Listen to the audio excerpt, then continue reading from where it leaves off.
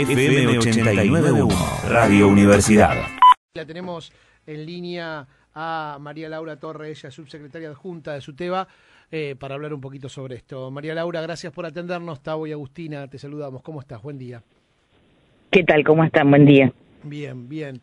Eh, bueno, un día, un día triste, ¿no? Este, la verdad, porque, porque decir que se podría haber evitado es una obviedad, ¿no? Absolutamente.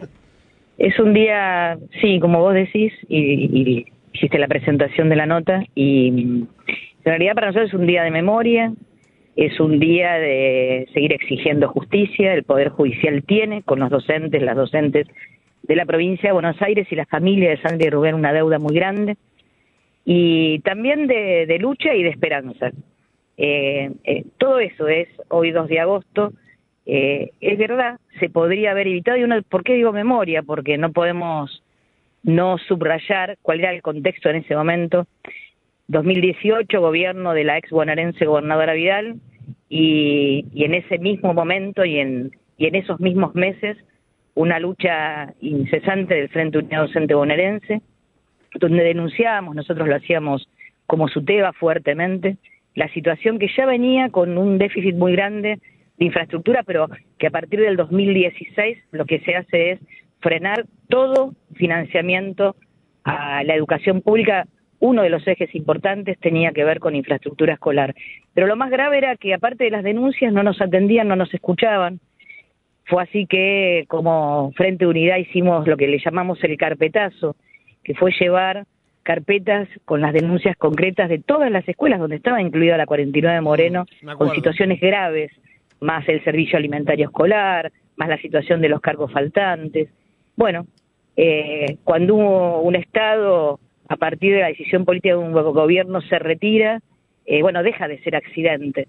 Nosotros en este momento, en el pedido de justicia, seguimos exigiendo, no solamente hay muchos imputados y procesados, quizás el más emblemático es Nasif para nosotros, que era el advocador, como si fuese el, estaba intervenido en el Consejo Escolar de Moreno, o sea que era la línea directa hacia el poder, hacia arriba, digamos, hacia Sánchez Cini, que era director general de escuelas en ese momento, eh, y la gobernadora Vidal, eh, y estaba intervenido justamente por situaciones que no sucedían, y, y aparte un consejo escolar que no escuchaba, porque esta denuncia y este pedido de arreglo ya lo había hecho la vicedirectora y la directora de la escuela sistemáticamente. Mm.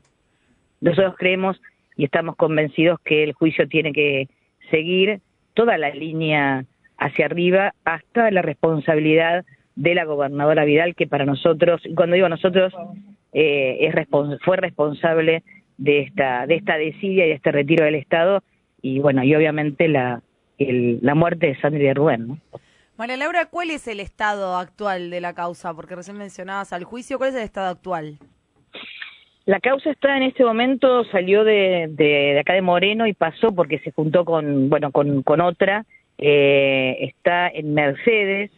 Eh, calculamos que tenemos que tener prontamente un, el juicio oral. Eh, estamos esperando eso y obviamente que en ese juicio vamos a seguir insistiendo. Nosotros como SUTEBA somos parte, eh, somos la defensa de la familia de Sandra y Rubén. Mm. Eh, bueno, y estamos ahora a la espera de eso, ¿no? Que no solamente que termine el juicio y, que aparte siga la línea eh, hacia arriba, ¿no?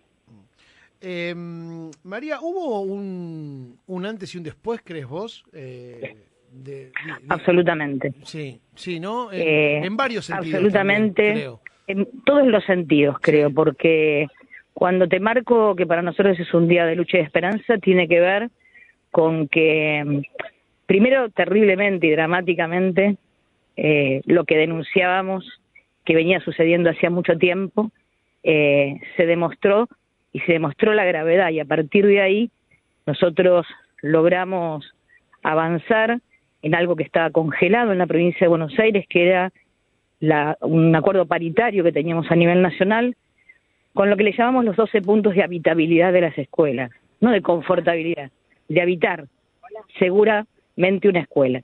Uno de los puntos era la situación de gas. ¿Qué pasó a partir de la explosión? Bueno, hubo más de 1.500 escuelas con miles y miles de alumnos que no tuvieron clases durante más de seis meses. Mm, ¿Por qué?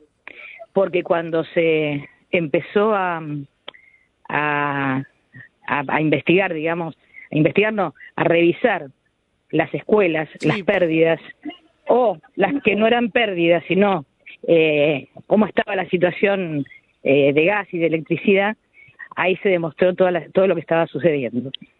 Mira, te cuento algo. Estoy en este momento llegando al acto mm. eh, en la escuela 49. Así que voy a tener que cortarle. Dale, dale. Porque eh, estoy... Sí, la, última chiquita que, que, te hago es este, en este inicio del invierno, ¿no? Este, hubo algunas escuelas eh, con problemas de, de, gas también, ¿no? Este, y hubo escuelas que estuvieron sin clases. Y desde ese sector que gobernaba la provincia de Buenos Aires cuando sucedió lo de Sandra y Rubén, eh, escribieron en sus cuentas de Twitter, bueno, cosas que a mí me dieron vergüenza ajena. No sé qué, qué sintieron ustedes, María Laura, en su teba, este, qué les pasó cuando, cuando veían, ¿no? cuando escuchaban y cuando leían. Mucha indignación, mucha bronca, porque aparte, si en este momento todavía estamos nosotros peleando para que todas las escuelas estén en condiciones, es justamente porque lo que se está haciendo en este momento es que no haya ninguna ninguna escuela que tenga una sola pérdida de gas. Entonces, cuando esto sucedió y nosotros veíamos los que escribían no solamente indignación, sino una falta de respeto y una desidia hacia todos los docentes bonaerenses impresionante. Eh, bueno, ahora sí. Dale, María Laura, gracias. Sí. Sí, gracias. No tengo problema en volver a. No, no, gracias. empezando el acto. envía el abrazo de toda la Universidad Nacional de la Matanza, o de la radio al menos, para no hablar en nombre de todos, este, a, la, a la comunidad educativa de Moreno. Gracias. Gracias a vos. Desde la Universidad Nacional de La Matanza, Radio Universidad FM 891. Siempre cerca.